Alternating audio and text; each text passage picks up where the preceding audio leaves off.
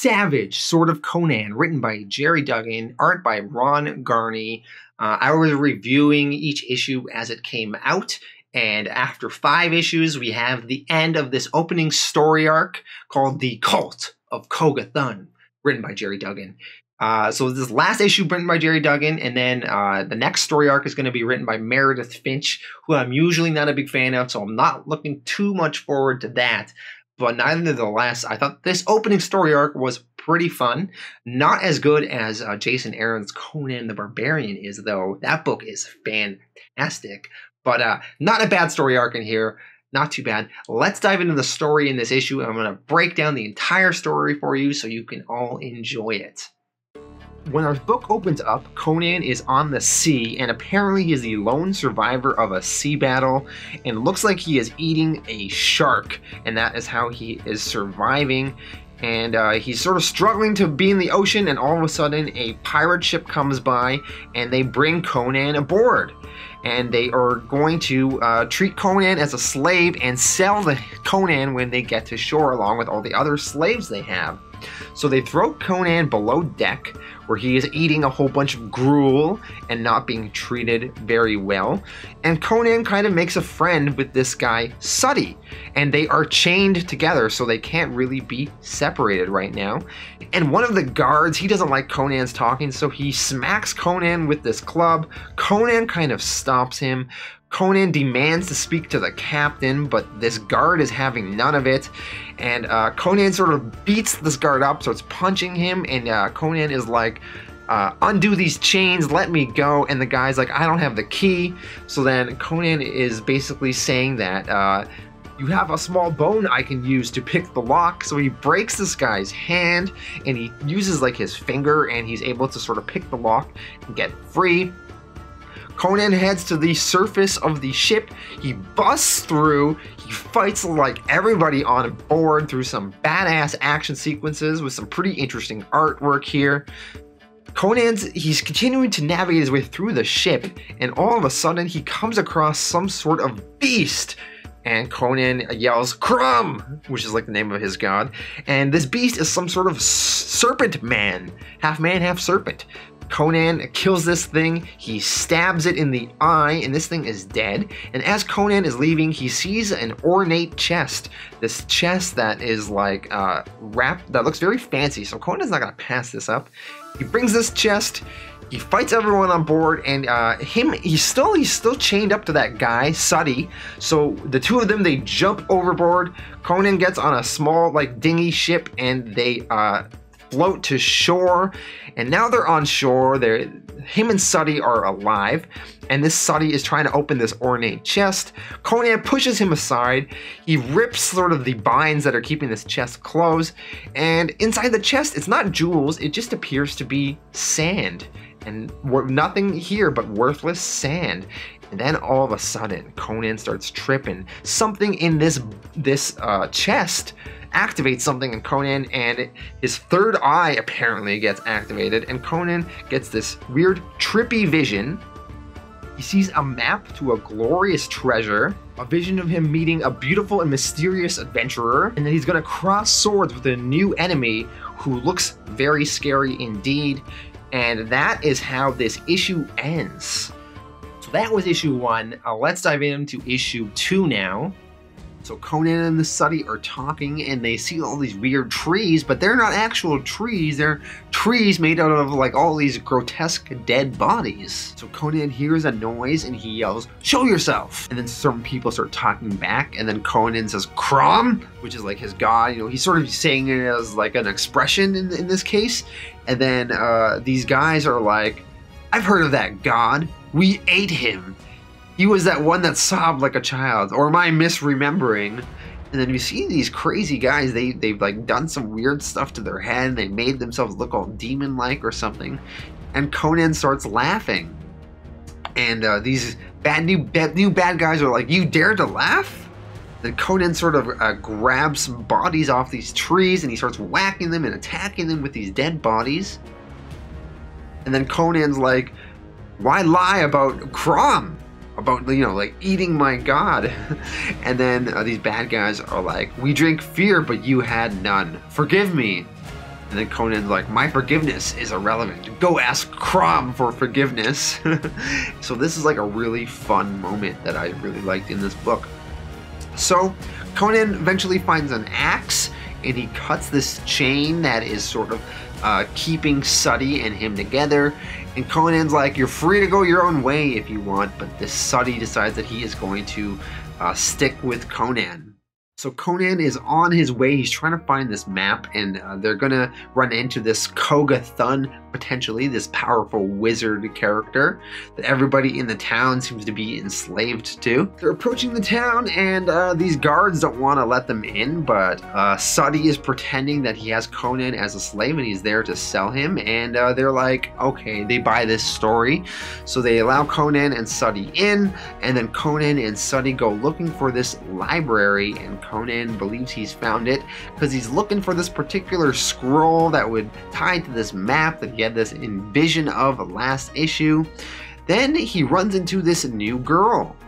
Her name is Mene, keeper of the library. Conan explains that he wants this particular scroll, this particular tome, to find this map that will potentially lead to this treasure. And this girl is all of a sudden interested in this because this Koga Thun, who's like the leader, the wizard in this town, he's after this ancient hoard that apparently contains the world's most powerful treasure, and this map might lead it to that. And, uh, you know, she wants this Koga Thun out of her town, and if it means giving Koga Thun this treasure, then so be it. So she's willing to work with them to, uh, you know, help uh, make ends meet to find this treasure. All of a sudden, there's like a knock at the door of this uh, library. She goes to answer the door, and then all of a sudden, uh, these bad guys once again they're there and they're questioning her, and they say that Thun has requires her presence. And uh, that is where this issue ends with Conan and Suddy on the other side of this door watching this interaction go down. Now, moving over to issue three of Conan, he's looking for this treasure from this map that was imprinted in his mind. And him and this guy Suddy, which he met on this slave ship, as well as this girl Menes, who is uh, the librarian in town, they are all working together to find this treasure. And eventually, a fog takes over this part of the city. And this is some sort of magical fog. And it is uh, put out there by this wizard called Koga Thun and this Koga Thun has used this spell that will bring whoever the map holder is, in this case it's Conan, and it will bring Conan to him.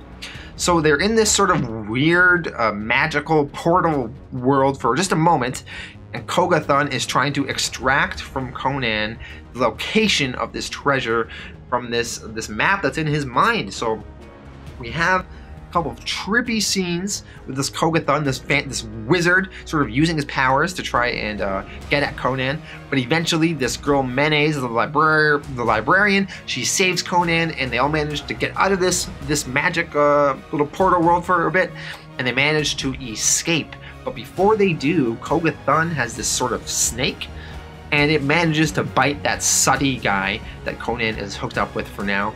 So uh, maybe something will come with that, with this snake character attacking this Suddy. And as the issue goes on, they make their way into these like ancient catacombs and they are confronting all these horrific looking monster zombies. And that is how issue 3 ends. And then going over to issue 4 now, Suddy, Menes, and Conan, they're all underground in this labyrinth looking for this map. They are continuing to fight all these undead zombie skeleton creatures. And this Suddy guy, he got bit by this snake from Koga Thun last issue. And this snake, the venom in it is sort of like slowly taking over Suddy. So Conan, Suddy, and Menes, they're in this underground labyrinth and they're hunting for this map and they're fighting this undead army, these forces of Koga Thun. They're uh, managed to fight a whole bunch of them off. But the venom in Suddy's arm sort of starts taking over him a little bit. Conan wants to decapitate Suddy's arm and sort of stop the venom from spreading, but Suddy sort of uh, says he doesn't want to do this, and it was the wrong choice because uh, Suddy starts being completely taken over and Koga Thun starts being able to see through Suddy's eyes and take over his body. And Conan is eventually forced to kill this Suddy. However, Koga Thun, even through death, can take over Suddy and take over and become like a zombified Suddy, and he continues to fight Conan that way. And now jumping over to issue 5, the last issue in this Koga Thun storyline. So Conan, he's looking for this map of treasure in these catacombs with, you know, Suddy and Menes. So Suddy continues to be, you know, taken over by Koga Thun. He's coming back from the dead. Conan has to kill Suddy again, and he chops Suddy's head off. Obviously, Conan feels very bad about this. Now, before Suddy died, I guess he managed to like scratch Conan or something, and somehow the venom that was in Suddy made its way into Conan's veins, and Conan would soon be taken over by Koga Thun as well. So Conan and Menes, they are continuing to search for this treasure, trying to seek it out. Looks like they finally got to the treasure. And you know, Conan, he's expecting, you know, jewels and all sorts of stuff like that, but instead it's just scrolls of lessons and charts and powerful magic. So that is what Koga Thun wants. Koga Thun appears, you know, he wants this powerful magic that was in these scrolls. This is what the treasure was all along. Now, uh, Conan goes to attack Koga Thun. He tells Menes to torch those scrolls that Koga wants, but Menes reveals that her family has been held captive by Koga Thun this whole time. So she's kind of in a way been a prisoner of Koga Thun and been working for Koga Thun this entire time, sort of unwillingly, but you know, she is sort of aligned with Koga Thun now and she's not going to torch those scrolls. So she's sort of betraying Conan a little bit here. Conan fights Koga Thun. Koga wants Conan to kneel to him. Conan says, I kneel to no one. They fight some more. Koga Thun has this poisonous snake that he wants to bite into Conan. But then this Menes, she has a change of heart and she tries to uh, save Conan and sort of make up for betraying him. She jumps in the way of this deadly snake. She gets bitten by the snake herself and she's dying. Conan vows to sort of avenge her. Conan continues brutally fighting everybody. He's fighting Koga Thun, beating the shit out of Koga Thun, smashing, smashing him. Eventually, his head gets got gets cut off. Conan kicks the severed head of Koga Thun, finally destroying him. Now, it's explained by Conan killing Koga Thun. This venom cancer that was in his body sort of, I guess, was cut out. And I guess maybe because Koga Thun's dead, the uh, venom in his body won't turn Conan into a zombie now. And uh, the venom has sort of died out, so Conan is now free of potentially Koga Thun's influence taking him over. So Conan, being slightly victorious now, he rides into the street holding the head of Koga Thun and tells the slaves in the city that Koga Thun is dead and it's time to now slay your masters and seize your destiny. And Conan rides off into the distance and the slaves begin to shake off their oppressors and gain their inevitable freedom. And that is how the storyline ends. And overall, I thought this was a pretty interesting, fun story arc you know, you had this wizard, you had these new friends. In the end, it's kind of a self-contained story, but I mean, lots of good action here, lots of good Conan moments. I had a pretty good time with this with this storyline. I'm gonna give it a eight out of ten. Not too bad. Not too excited for Meredith Finch, but I guess we should give her a shot and see how it goes. But yeah, I had a good time with the Savage Sword of Conan.